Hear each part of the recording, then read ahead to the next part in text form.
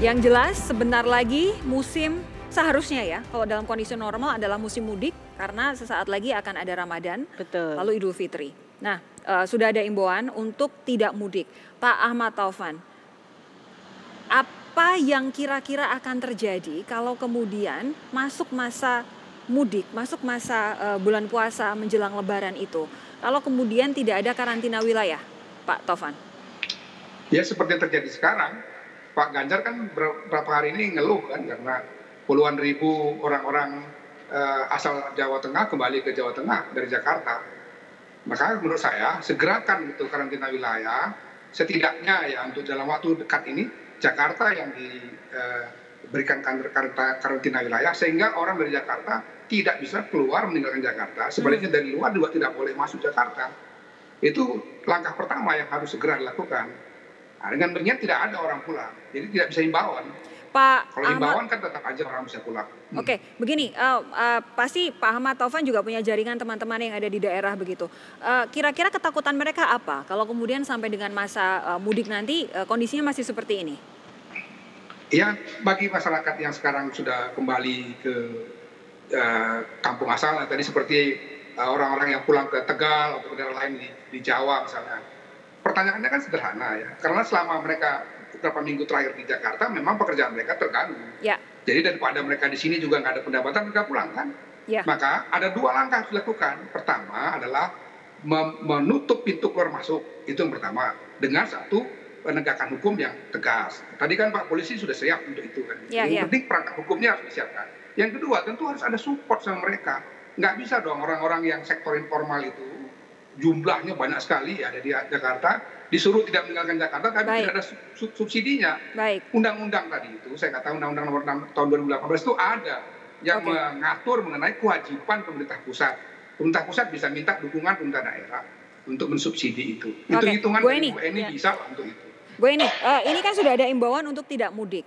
Itu dampaknya terhadap uh, kepastian perekonomian, kepastian di uh, kalangan pebisnis, apakah positif atau kalau positif dong. Kalau sekedar himbauan nggak ada. Oh gitu. Nggak ada kepastian. Kalau sekedar himbauan, karena yang terjadi seperti masih sekarang gitu kan, uh, yang masih bisa bertahan bertahan di DKI, tapi kalau yang nggak bertahan malah menyebarkan virus ke mana-mana tadi.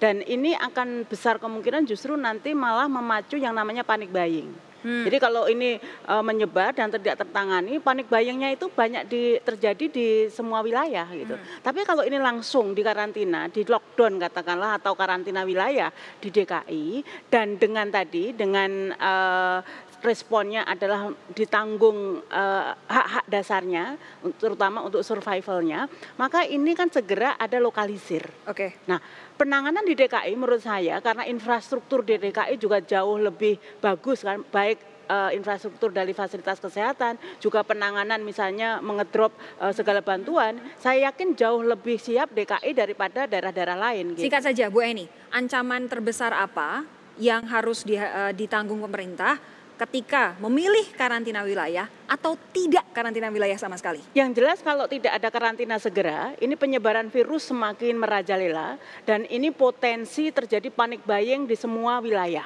Mm -hmm. apalagi ini menjelang Ramadan dan Idul Fitri, Ramadan tahun uh, tidak ada corona saja kenaikan harga sudah terjadi uh, setiap tahun kan, apalagi kalau uh, ini tidak terkendali. Nah, sehingga kos ekonominya jauh lebih besar uh, ketika tidak ada penanganan kara, uh, tadi ya karantina atau lockdown tadi Baik. dibandingkan kalau ada lockdown. Lockdown pasti ada ada kosnya, ada biaya yang harus dikeluarkan Tapi, dan ini wajar. Huh? Semua negara di dunia ini siapa yang sekarang tidak mengeluarkan bantuan sosial untuk masyarakat. Oke.